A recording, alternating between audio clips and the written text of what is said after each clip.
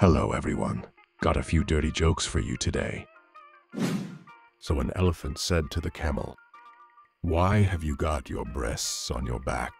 Do you know how ridiculous you look?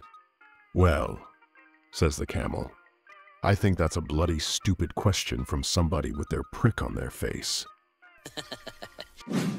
so the mafia leader asks his right-hand man if he would do anything he says.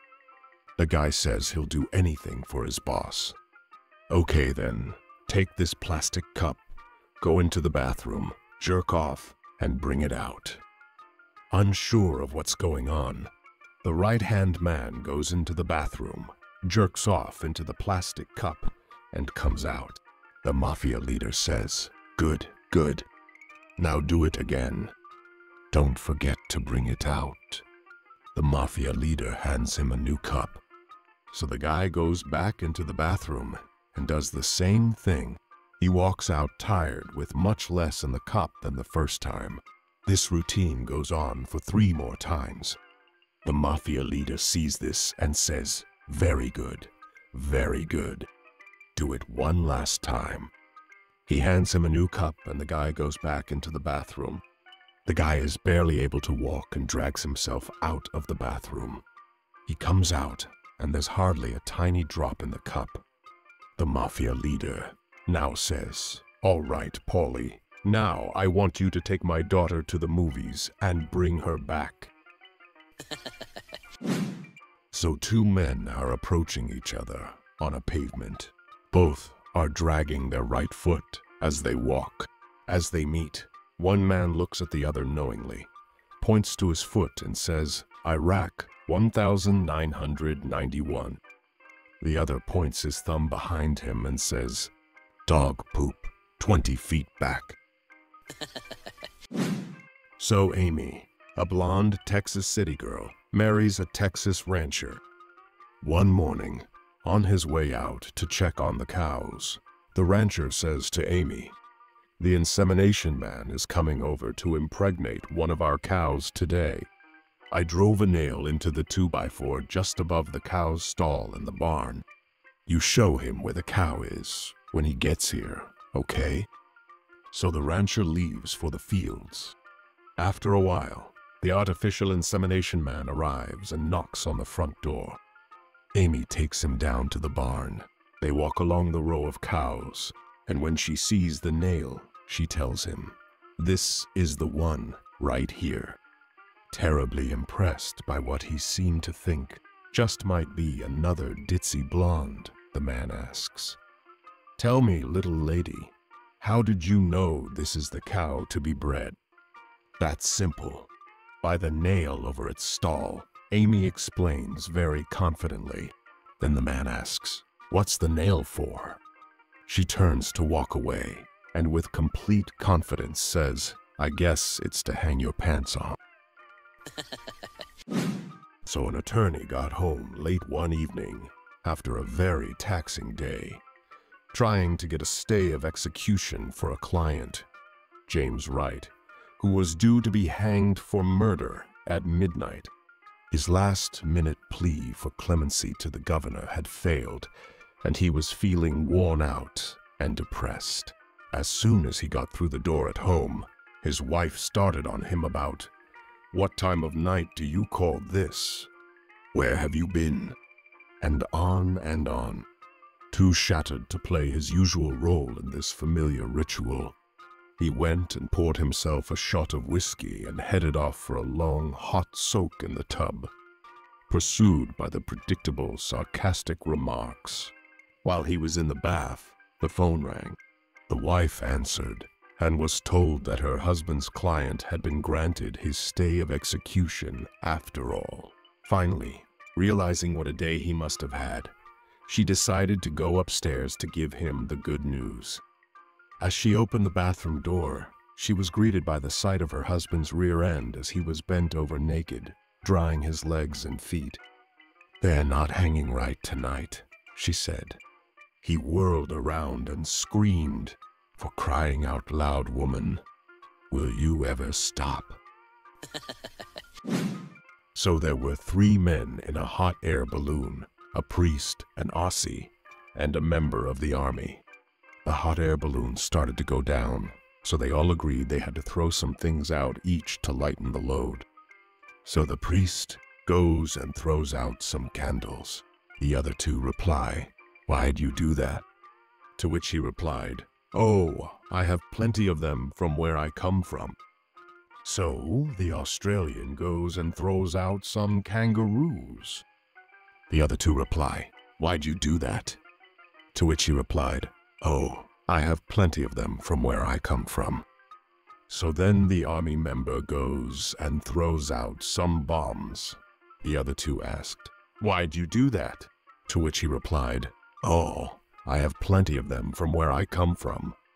Well, they land, and a short while later, they are walking down the street, and they see a man crying. They ask why he is crying, to which he replies, Oh, I've just been hit by flying candles. So they continue on and come across another man crying, so they ask why he is crying, to which he replies, Oh, I've just been hit by flying kangaroos. So they keep walking down the street, and they come across a man laughing hysterically, so they ask why he is laughing. His response was, I just farted and my house blew up behind me. so a blind man walks into a hardware store picks up his guide dog and starts swinging him around by the tail. The shopkeeper asks, Can I help you, sir? The man says, Nah, I'm just having a look around. so a fellow decides to take off early from work and go drinking.